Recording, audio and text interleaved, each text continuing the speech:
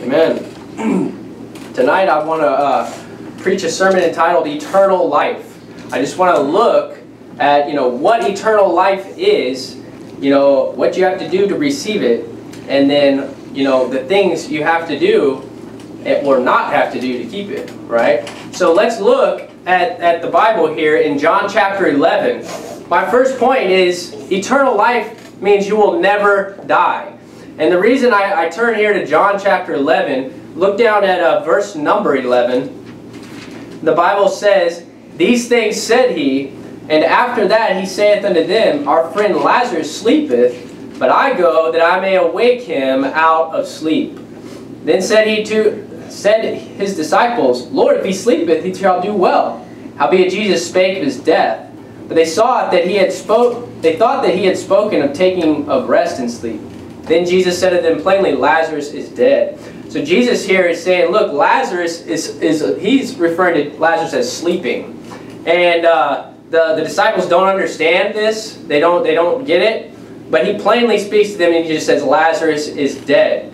Now, we know later on in this passage that, uh, later on in the passage in, let's see, what verse here?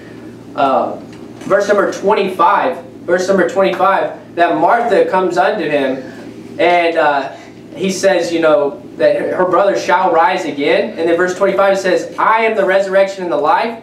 He that believeth in me, though he were dead, yet shall he live. And then verse 26, And whosoever liveth and believeth in me shall never die. Believest thou this? And so Jesus right here is saying that if you believe on the Lord Jesus Christ, you will never die. And he, he, he refers to a person that is dead physically as sleeping. And we know that when Jesus Christ comes back to this earth, that he's gonna, our bodies will be changed, we'll meet the Lord in the air, we'll receive a new body. And so our bodies aren't dead. One day we'll, we'll receive that body again, but it'll be a glorified body like unto the Lord Jesus Christ. And that's why right here in this passage it says that he sleepeth and he, and he said plainly that they, he was dead. But I love to show people this verse, verse 26. When I'm out soul winning, if somebody gets saved, I like to just explain to them, look, you're never going to die. You know, that's just something cool you can explain to somebody. You can say, look, you know, you just believed on Lord Jesus Christ. Jesus actually said, you know, that if you believe in me, you shall never die. Believest thou this? You know, that's pretty cool to someone who who just gets saved and you know they don't fully understand all the doctrines of the Bible, but they can know that there's eternal life and they're never going to die. And eternal life is is is twisted in a lot of ways. A lot of religions twist this uh, this particular doctrine, and they teach that they have to keep eternal life by doing things and doing all this stuff. And we're going to debunk that in this sermon. But I want you to turn with me to John chapter 8. John chapter 8. While you're turning there, I'm going to read 2 Corinthians 5 9. It says, Wherefore we labor, that whether present or absent, we may be accepted of him. So, I think I put the wrong verse here. So, the Bible says, let me turn there. 2 Corinthians 5 9. I did put the wrong verse, I know. it says in verse 8, we are confident, I say, and willing rather to be absent from the body and to be present with the Lord. So when we die, we're absent from this body and we're present with the Lord. So we, we, we know this from the story of, you know, the rich man and the beggar, where the rich man died. He was carried by the angels to Abraham's bosom up in heaven. And the rich man died also and in hell lifted up his eyes. So in the contrast, you, when you die or your body's asleep on this earth, you're in the presence of the Lord. But in contrast, if you die without Christ, you're immediately in hell. So you, have, you can have eternal life or you can have eternal condemnation. So uh, uh, God is very extreme. You know, He's a God of extremes. You know, it's life or death. It's believe, not believe. It's very, it's very plain. It's very simple. I had you turn to John chapter 8. Look down at uh, uh, verse 51. This is interesting. Jesus talking to the Jews here. And it says, Verily, verily, I say unto you, if a man keep my saying, he shall never see death. So again, uh, talking about never dying. 52 says, Then said the Jews unto him, Now we know that thou hast a devil. Abraham is dead, and the prophets, and thou sayest, If a man keep my saying, he shall never taste of death. Art thou greater than our father Abraham, which is dead? And the prophets are dead. Whom makest thou thyself? Jesus answered, If I honor myself, my honor is nothing. It is my Father that honoreth me, of whom ye say that he is your God. Yet ye have not known him, but I know him, and if I should say I know him not, I shall be a liar like unto you. But I know him and keep his saying. Now pay attention to verse 56. It says, Your father Abraham rejoiced to see my day, and saw it, and was glad. You know, the Jews didn't understand eternal life. Jesus Christ here is just saying, look, Abraham's not dead. Abraham is alive. You know, he rejoiced to see my day, and he saw it. Abraham seen it from a different perspective than the disciples and from the Jews. He's seen it from heaven. You know, he's seen Jesus Christ's day, you know, from a, a, a heavenly perspective. So that right there is just another place where it just says you, you'll never see death. You'll never die. When we, when we close our eyes on this earth and are dead in the body, we'll be immediately with the Lord. So go back to uh, John chapter 11, a few pages back. Uh, few pages forward. Um, I'm going to read John 5, verse 39. It says, Search the scriptures, for in them you think that you think you have eternal life, and they are they which testify of me, and ye will not come to me that ye might have life. So the Jews, you know, they, they were seeking eternal life. They were seeking it through works and through keeping the law, keeping the Sabbath, you know, adding to the law. They you know, added a whole bunch of extra uh, doctrines and teachings to the law, we know that. But they thought that they had eternal life, but they are those that testify of Jesus Christ. And uh, they won't come to him that they may have life. Because all you have to do is come to Jesus Christ. You know, whosoever will, let him take of the water of life freely. You know, that, that, that's the true gospel there. So I had you turn back to John chapter 11. but you know, Jews, they had eternal life messed up. And there's a lot of religions today that have eternal life messed up. You know, Catholics, you talk to a Catholic, they don't understand eternal life. You ask them if they have it, and they're like, oh yeah. And they're like, well, is there anything you do to lose it? Oh yeah. It's like, is that eternal? No. Mormons, they're all messed up on eternal life. Jehovah's Witnesses are definitely messed up on eternal life. Seventh-day Adventists, messed up on eternal life. Uh, they got to keep all these commandments. They're all works. They're all works-based. Calvinists, works-based. You know, they just call it perseverance of the saints. They give it this fancy title. But they, they, they teach that you have to, you know, persevere until the end. You know, if you fall away, well, you're going to come back eventually. You know, but if you fall away and you never come back, then you're not truly saved. That's what Calvinists teach. It's pretty crazy. But look back down at John chapter 11. And actually, we, we just read this, so I, I skipped ahead. But it, I was just going to reiterate that whosoever liveth and believeth in me shall never die. So the Bible clearly over and over again stresses that you have to believe as a means to obtain eternal life. You know, we know this. We go out soul winning. We teach people the Bible. And so my second point, I want you to just turn to John chapter 3. It's a familiar passage. But when you receive eternal life, Jesus Christ himself likened it unto being born again. Being born again. And rightfully so, it says in John chapter 3, verse number 3, it says, Jesus answered and said unto him, Verily, verily, I say unto thee, except a man be born again, he cannot see the kingdom of God. Nicodemus said unto him, How can a man be born when he is old? How can he enter the second time into his mother's womb and be born? So Nicodemus doesn't understand. He's, he's, he's grasping at straws here. Verse 5 says, Jesus answered, Verily, verily, I say to thee, except a man be born of water and of the Spirit, he cannot enter into the kingdom of God. Uh, and so verse 6, this that which was this is that which is born of the flesh is flesh, and that which is born of the spirit is spirit. Marvel not that I said unto thee, ye must be born again. So the Bible teaching right here very clearly that you're born of water when your mother gives birth to you on this earth. Her water breaks and she goes into labor, and you are born. That's being born of water. But it also says, except a man be born of water and of the Spirit. So when Jesus is talking about being born again, he's obviously talking about being born of the Spirit. And so you have to be born of the Spirit. You have to receive God's Spirit. And your, your, your, your soul is quickened. You know, 1 Peter chapter 1, verse 23 says, being born again, not of corruptible seed, but incorruptible, but of incorruptible, by the word of God, which liveth and abideth forever. So we know that a man has to come to you, somebody has to preach to you the gospel, because it says, by the word of God. You know, it's an incorruptible seed. If you speak English, the incorruptible seed is going to be the King James Bible. You know, the incorruptible seed is the Word of God right here in English.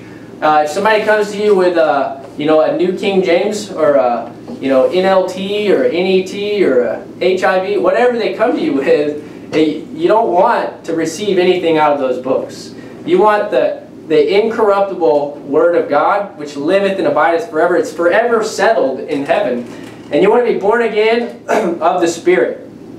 Um, turn to uh, 1 John chapter 5. 1 John chapter 5. We're going to be in the book of John a lot because John expounds a lot upon these particular doctrines.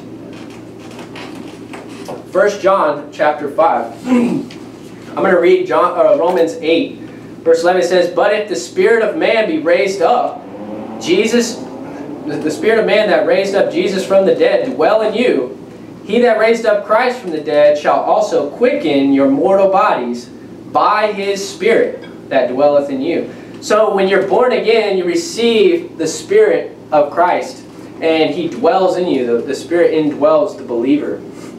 So that's taught in the Bible. First John chapter 5, where I had you turn, just look at verse number 1. It says, Whosoever believeth that Jesus is the Christ is born of God.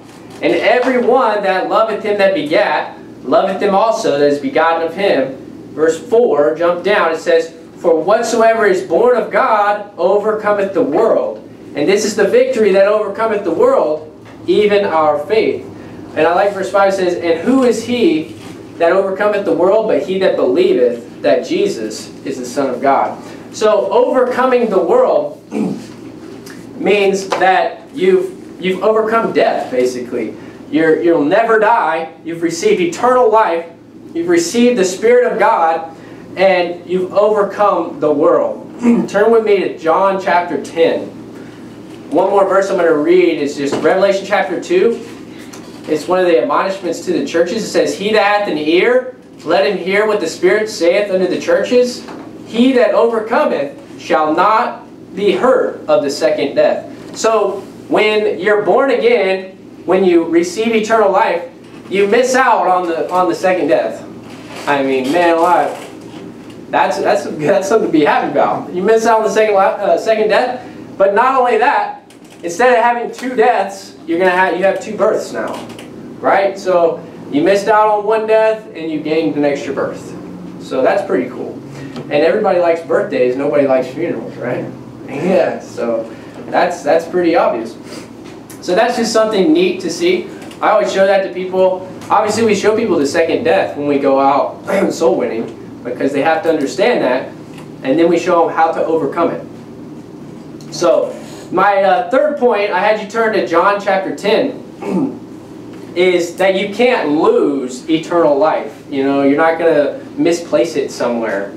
Or you can't do something that's going to keep you from having eternal life. Once you receive it, it's yours. We all know Romans 6.23, we show people this. Says, For the wages of sin is death, but the gift of God is eternal life through Jesus Christ our Lord. So that gift is eternal life. You know, that means it's forever. And I had you turn to John 10. Look down at verse 27. It says, My sheep hear my voice, and I know them, and they follow me. And I give unto them eternal life, and they shall never perish, neither shall any man pluck them out of my hand. So, you know, God puts you in his hand when you receive eternal life. And nobody can take you out of God's hand. You know, this is another passage that a lot of people show to somebody just to uh, just to confirm eternal life and how you can't lose it.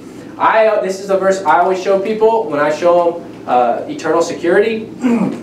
but you know, there's a, a lot of other good passages. Turn back in, your, in John to chapter 6. Chapter 6.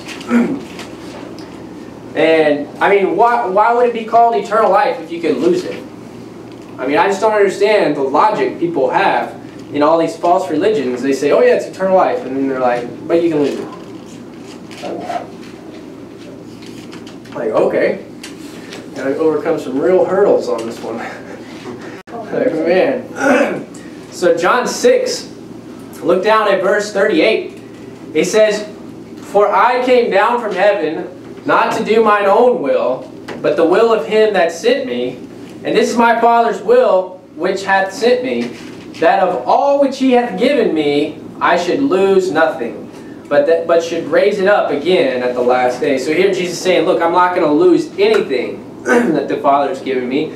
Remember, he's put you in his hand. He's not going to lose it. No man can take you out of his hand. And then verse 40, it says, And this is the will of him that sent me, that everyone that seeth the Son and believeth on him may have everlasting life. And I will raise him up at the last day. You know, some people, they'll say you have to be a good person. You have to try to stop sinning. Or you have to be willing, you know, just willing to give up your sin. You know, but that's just not the case. You know, how willing do you have to be? You don't have to be willing at all. You just have to believe the gospel and call upon the name of the Lord and be saved. So, you know, that's what the Bible teaches. It's, it's very clear. You can't lose your salvation. It's eternal life, everlasting life.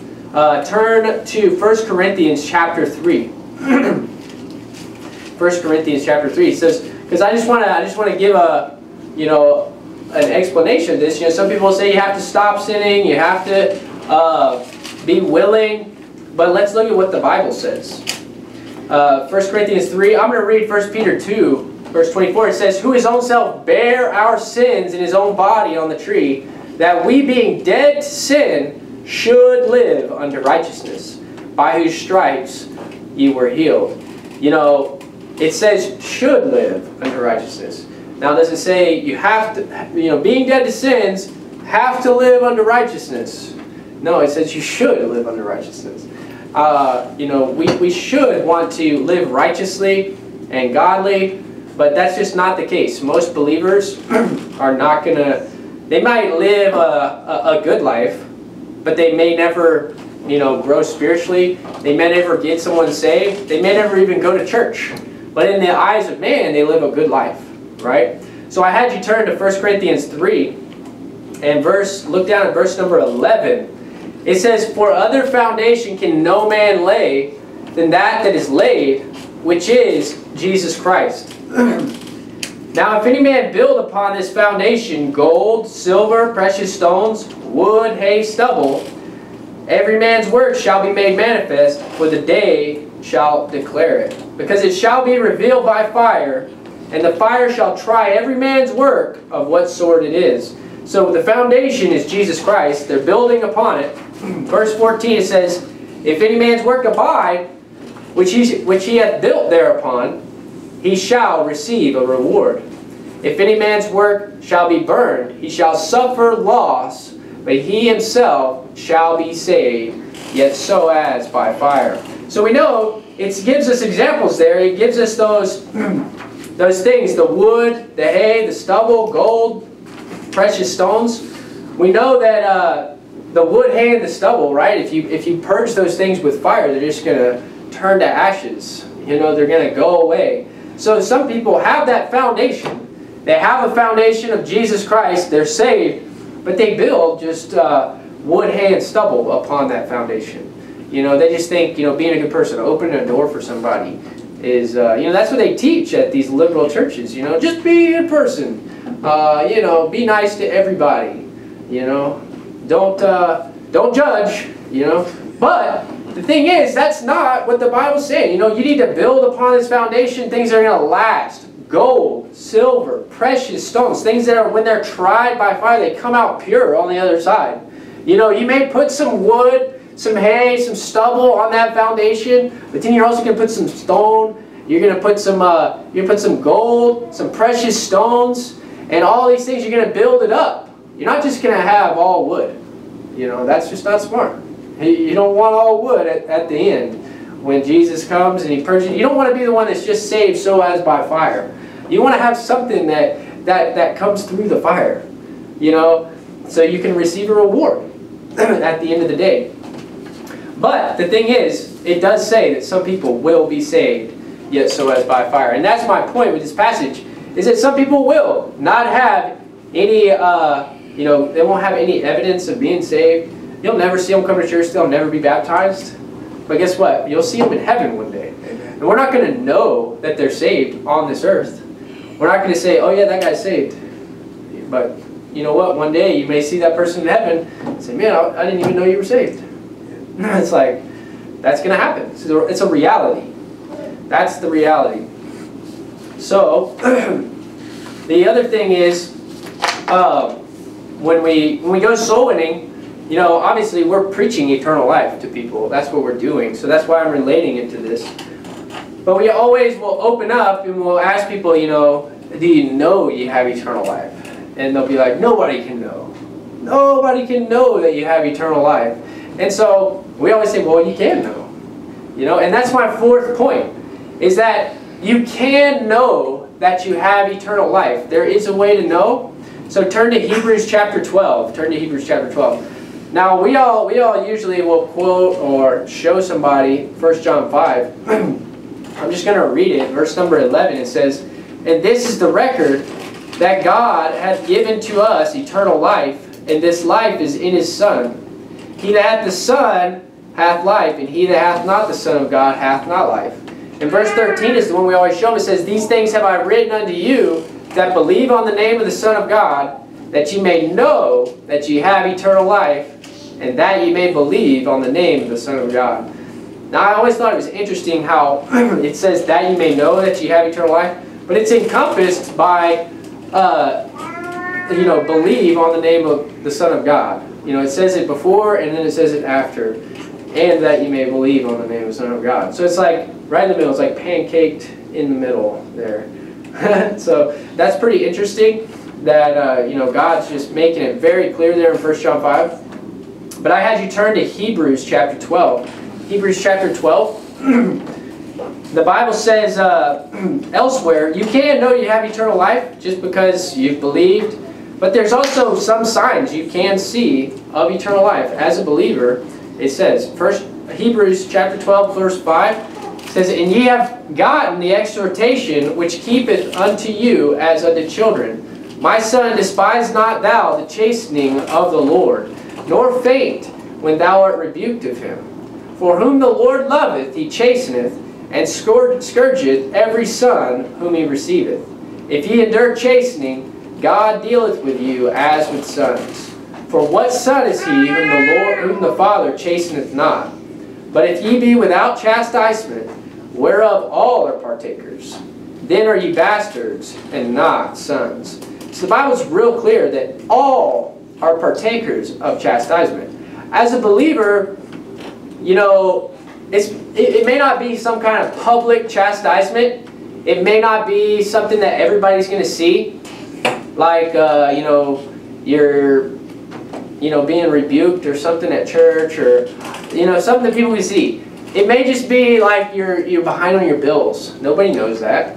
You're behind on your bills and you can't seem to get ahead because because you're you're not doing God's will and therefore He's not blessing you. You know He's not blessing you with that raise that you would have gotten maybe if you were in God's will. You never know. You know, God has a plan for us, and He's going to reward those that diligently seek Him. And but He's also going to chastise those because He's dealing with you as a son. You know, John chapter 1 says, But as many as received Him, to them gave He power to become the sons of God. So we know when we believe, we become a son of God. We receive eternal life, we're a son of God, and therefore He dealeth with us as with sons.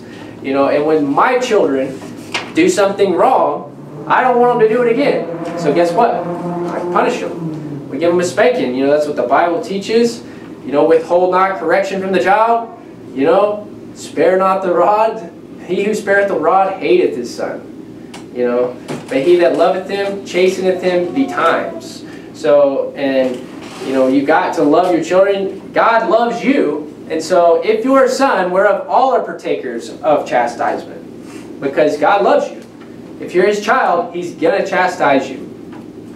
You know, and then also, it's also in Proverbs chapter 3. Proverbs chapter 3 just says, verse 11, My son, despise not the chastening of the Lord, neither be weary of his correction, for whom the Lord loveth, he correcteth, even as a father the son in whom he delighteth. So it's very clear that God will deal with you as with the son. He will correct you.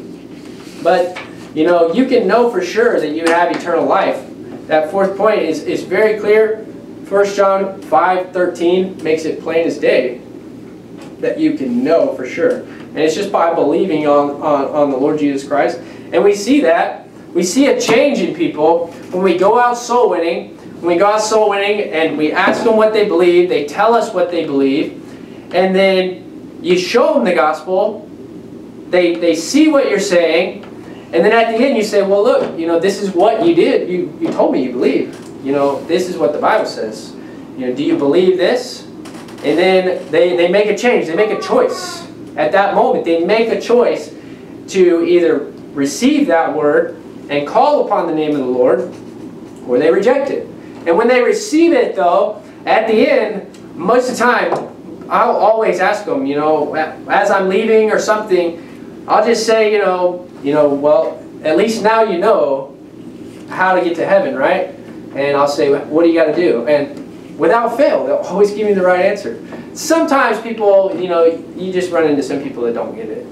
You go through the gospel, you think they're getting it, they, they pray with you, but at the end it's just like, no, that's not it. And it's like, well, you just don't count that one. But the thing is, is most people, when you go through the gospel, you show them it, they pray with you. We don't pressure them into it.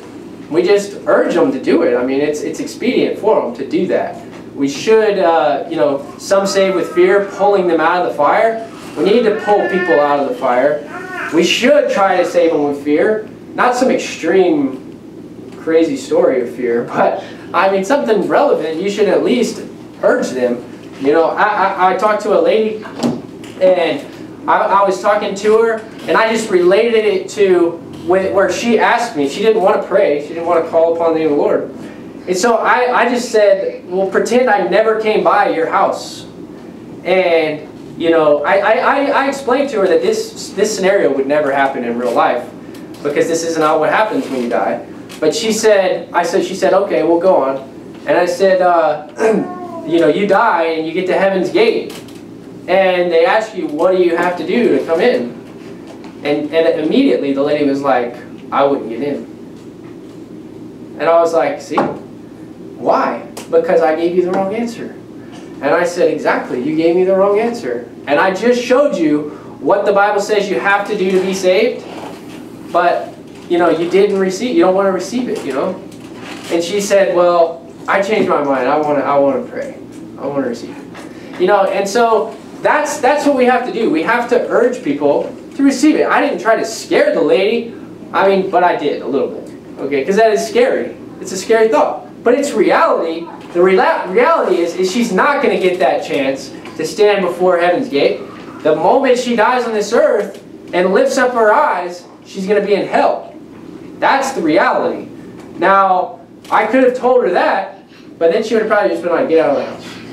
You know, so so I came up with a different scenario, you know, but it worked. I mean, the lady got saved, and when I left, she answered the questions right, and I was just like, amen. She said she was going to come to church. I hope she does. That'd be awesome. But, uh, you know, the thing is, eternal life is, is something that you can have. You will never die, which is awesome. I don't want to die. I want to live forever. I want to live forever. And everybody wants to live forever. Everybody's seeking to be younger, to be more fit, you know, to, to all these celebrities. They never want to die, ask them, you know. And then, so never dying, that's pretty awesome. I mean, we'll live for a thousand years on this earth. And then we'll live for eternity. I mean, man, that's a long time. A thousand years? And then eternity? That's a long time.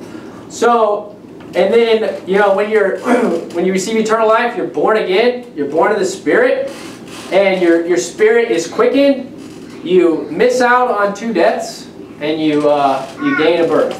You gain an extra birthday. Oh wow. I mean that's awesome. I like having two birthdays. You know? So my son's birthday is coming up. He, he loves his birthday, that's for sure. So, and then you can't lose eternal life. It's eternal, it's forever. You can't misplace it. You can't do anything to lose it. You can't uh, do something wrong and God say, nope, I'm taking it back from you.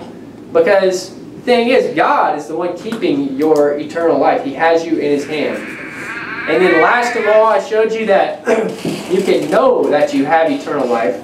You can know just by what the Bible says. And then also you can know because you'll endure chastening, whereof all are partakers.